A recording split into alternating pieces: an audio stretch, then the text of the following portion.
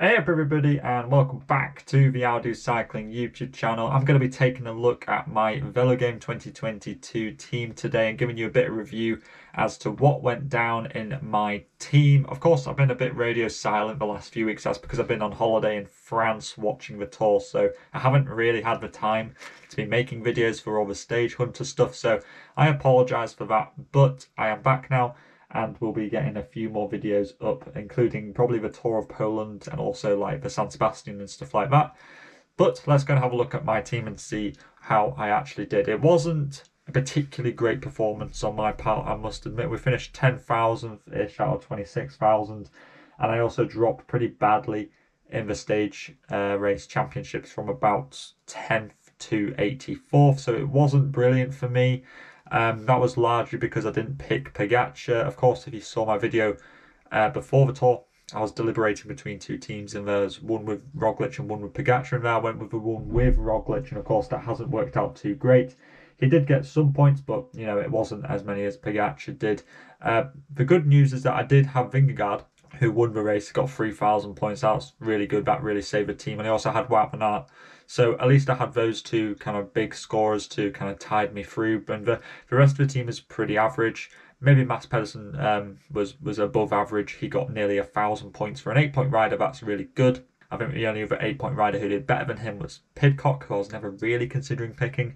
Pedersen uh, he would have got more, of course, but he fell ill in the last few days, so he didn't contest the stage uh, 19 sprint or the stage 21 sprint on the Champs Elysees. So overall, the team could have done a bit better.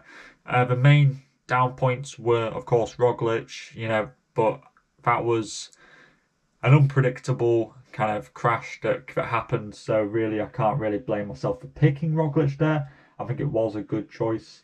Uh, it just didn't work out overall. That's just the way the things go sometimes. Caruso and Guerrero were both just bad picks. Uh, I was really high on them before the race. They both looked really good in the Dauphiné, and that was really kind of my main reasoning. They were going to go into this race and look really good.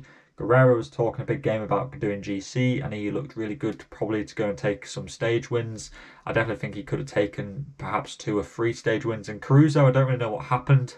He was looking so good at the Dauphiné. He didn't test positive for COVID. He, I don't think he crashed. He just really underperformed of any DNF for race.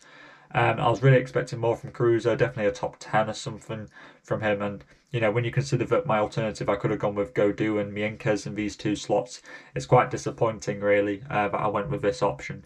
And that really dropped me quite a few points. Uh, the, the unclassified riders weren't too bad, uh, all in all.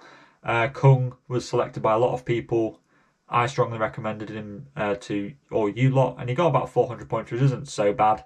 Uh, all in all, I was expecting they'd do a lot better in the TTs, though. He didn't even finish inside the top 10 of either of the time trials, which is really surprising for Kung. And a lot of the rest of the time, he was tied to David Gaudu to help with his GC ambitions, which, fair enough, Gaudu did finish in fourth place, so they did a really good job there.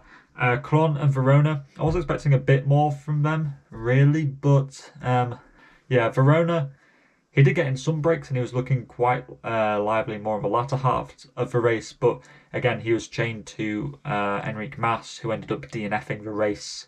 Um, so that was a bit of a shame, really. I thought that Verona would get a bit more freedom.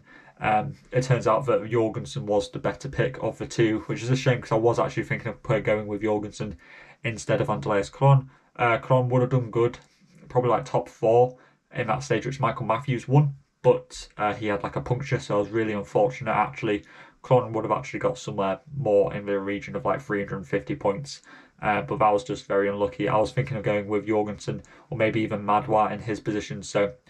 Uh, it's a bit of a shame, really, with the unclassified riders, but um, they did okay, and they just got like a couple hundred points each.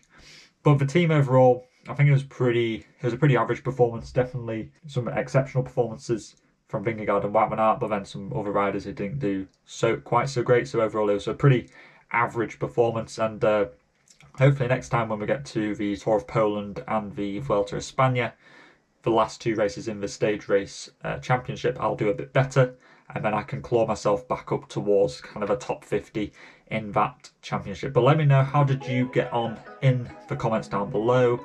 Who are your good picks? Who are your bad picks? And all that is left to say just to keep safe out there. And I'll see you for the Tour of Poland more than likely. Salut!